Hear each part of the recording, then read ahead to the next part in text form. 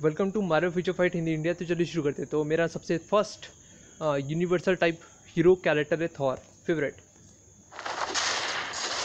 शुरुआती से मेरा कैरेक्टर फेवरेट यूनिवर्सल टाइप में, हीरो टाइप में थॉर ही रहा है। चाहे कुछ भी बोल लो, थॉर सबसे बेस्ट है। उसके बाद में इसके यूनिफॉर्म की शुरुआत करता हूँ यहाँ पर द ओरिजिनल यूनिफॉर्म यहाँ पर मैंने इस यूनिफॉर्म को काफ़ी ज़्यादा यूज़ किया। उसके बाद में एक अपग्रेड आया था, जिसमें इसका यूनिफॉर्म और ज़्यादा अपग्रेड हो गया। तो वो था ये एज ऑफ़ वॉटरॉन उस टाइम पे इसका यूनिफॉर्म मेरे ख्याल से जिस टाइम पे एज ऑफ़ वॉटरॉन का इवेंट आया था, उस टाइम पे मैं नहीं था गेम में, लेकिन मैं आकर जा चुका था। मतलब ज़्यादा इंटरेस्ट नहीं था गेम में। तो उस टाइम की बात है। तो उसके टाइम पे भी बाद में एज ऑफ़ वॉटरॉन का सूट एक गोल्ड में मिल रहा था। तो जितने भी एज ऑफ़ वॉटरॉन वाले सूट है, वो मैंने सारे बाय कर लिए एक गोल्ड में। उसके बाद में नेक्स्ट सूट आया। अनवर्दी वाला थॉर अनवर्दी। इसके साथ एक और एक सूट आया था, कुछ इसका नहीं था, किसी और कैरेक्टर था, वो ध्यान में नहीं अभी मेरे।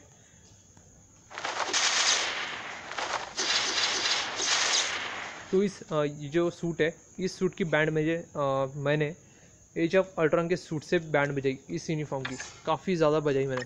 Scale number two scale number one काफ़ी ज़्यादा बैंड बजा के रखी थी। उसके बाद में ये यूनिफॉर्म बाय करना पड़ा। क्योंकि कोई ऑप्शन नहीं था मेरे पास। क्योंकि मुझे भी पीच पे टिकना था, मुझे भी ज़्यादा फाइट लड़नी थी तो उस वजह से मेरे को ये यूनिफॉर्म बाय करना पड़ा। उसके बाद में फिर आया थॉर रेगनारॉक जिसने सबकी छुट्टी बैंड में जाके रख दी और थॉर को इंडिया में सबसे ज़्यादा फैंस फेवरेट मानने जाने लगा। उसके बाद में मेरे को इसी यूनिफॉर्म में एक ही चीज़ पसंद नहीं आई, वो इसके हाथ की तलवार। इसके हाथ में कुछ और होना चाहिए था मतलब तलवार के साथ ना कुछ और एक्स्ट्रा जैसे अभी थॉर इन्फिडी वार में है, जैसे उसके हैमर से बहुत बढ़िया तरीके से डैमेज निकलता है तो उसी तरीके से अगर थॉर रेगनारॉक वाले यूनिफॉर्म में होता तो ज़्यादा बेटर रहता। तो थोड़ा सा वहाँ प्रॉब्लम है, बस वही है। उसके बाद में आया फिर इन्फिडी वार सब लोग जानते हैं, इसके बारे में ज़्यादा बात नहीं करूँगा। तो चलिए इसके कैरेक्टर की डिटेल्स पे बात करते हैं।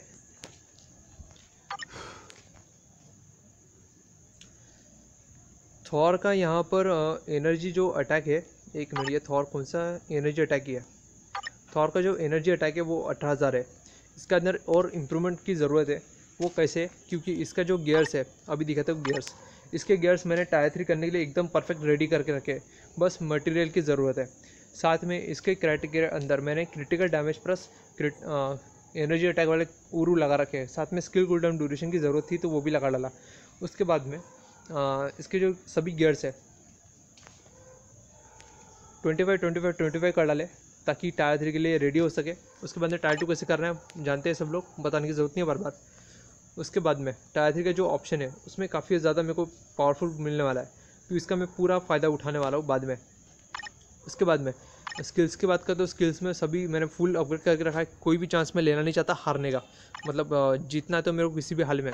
उसके बाद में इसको आईसोट दे रखा है मैंने एंग्रा फल्क ओवर ड्राइव हॉकाय ये भी दे सकते हो। अगर आपके पास में गोल्ड कम होगा और इन तीनों में से अगर आपको कोई भी आईसोट मिलता है तो आप रख लो। उसके बाद में आपके पास जब ज़्यादा गोल्ड होगा, तब आपको उसको चेंज कर लेना। लगभग सेम ही है, एक दूसरे के साथ तो ज़्यादा कुछ फ़र्क है नहीं। उसके बाद में आईसोट के बाद में इसकी बात करता हूँ ऑब्लिस की। इसको ऑब्लिस कौन सा देना चाहिए, बहुत से लोग अभी भी पूछते हैं, बहुत से कमेंट अभी भी आते हैं। तो इसमें अभी क्या करूँगे आप लोग? लाइटनिंग डैमेज का एक लगाना है ऊपर। ये देखो, यहाँ पर मैंने ऑरेंज कलर का लाइटनिंग डैमेज का एक बना रखा हुआ है। इससे लाइटनिंग डैमेज इसका बढ़ेगा। ज़्यादा से ज़्यादा शॉक वेव और लाइटनिंग यानी जो बिजली है, वो उसका अटैक ज़्यादा से ज़्यादा बढ़ेगा। उसके बाद में यहाँ पर इसको गार्ड पे कम्युनिटी यहाँ पर गार्ड पे कम्युनिटी नहीं है मेरे पास। मैं इसको लाने की कोशिश कर रहा हूँ और अलग से एक सिटी भी रेडी कर रहा हूँ। इसके साथ छेड़छाड़ नहीं करूँगा, अलग से बनाऊँगा। और मुझे ए में स्कोर करने के लिए इसका डैमेज प्रॉप की ज़रूरत पड़ती है। तो यहाँ पर मैं एटी वन एटी परसेंट लाने की कोशिश में चक्कर में था, लेकिन वन वन फोर्टी आ गया। तो मैंने सोचा अभी लाइटनिंग डैमेज साथ वन फोर्टी का आ गया, साथ में नीचे में फेयर इफ़ेक्ट आ गया। तो इसका फ़ायदा मैंने उठाया पूरा। तो अगर आपको देना है तो इसको लाइटनिंग डैमेज प्लस गार्ड पे कम्युनिटी और डैमेज प्रॉप ए में यूज़ करना तो ए में यूज़ करो। अगर टाइमलेट मेटर में यूज़ करना है तो गार्ड पे कम्युनिटी इनविजिबिलिटी और लाइटनिंग डैमेज तीनों को रख सकते हो। तो तीनों को लाना बहुत मुश्किल है, वो भी सीट एक ऑब्लिस में।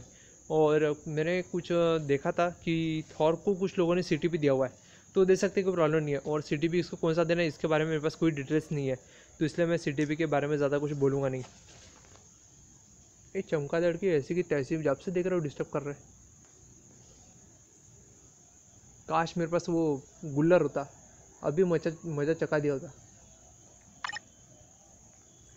तो यहाँ पर मैंने बता दिया आपको ऑब्लिस कौन सा लगाना है आइसोट कौन सा लगाना है, उसके बाद गियर्स कौन सा लगाना है, उसके बाद में यहाँ पर गियर्स क्या क्या करना है आपको, उस स्किल्स कैसे करने हैं और डिटेल्स क्या है। उसके बाद में मेरे अलायंसिस को पावर सप्लाई हो रही है, उसके बाद में कार्ड में जो पावर है, वो भी काफ़ी अच्छा लगाया हुआ है मैंने। कार्ड से भी काफ़ी अच्छी पावर सप्लाई हो रही है ऑल अटैक की वजह से। और बाद में इसका जो क्रिटिकल डैमेज है, वो थोड़ा कम है, मैं इसको इंक्रीज़ करने के चक्कर में हूँ।